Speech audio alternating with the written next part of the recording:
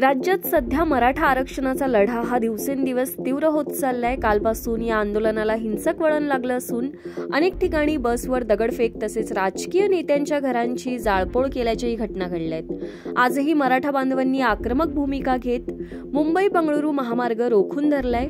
याबाबत अधिक माहिती अशी की आरक्षणाच्या मागणीसाठी राज्यभरातील मराठा बांधव चांगलेच आक्रमक झालेत. पुण्यातील नवले पुलाजवळ मराठा आंदोलकांनी टायर जाळून मुंबई बंगळुरू महामार्ग मार्गावर आंदोलन केलंय यावेळी आंदोलकांनी संपूर्ण महामार्ग रोखून धरला.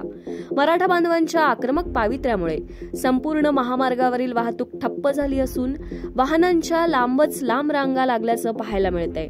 मुंबई बंगळुरू महामार्गावरून अनेक जण सातारा सांगली कोल्हापूरकडे प्रवास करतायत.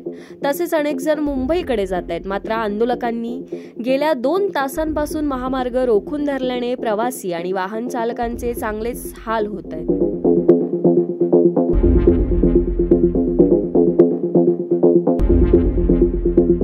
तसेच सरकारविरोधात जोरदार घोषणाबाजी इथे होत असून तत्काळ आरक्षण मिळावं अशी मागणी या आंदोलनकर्त्यांकडून होते.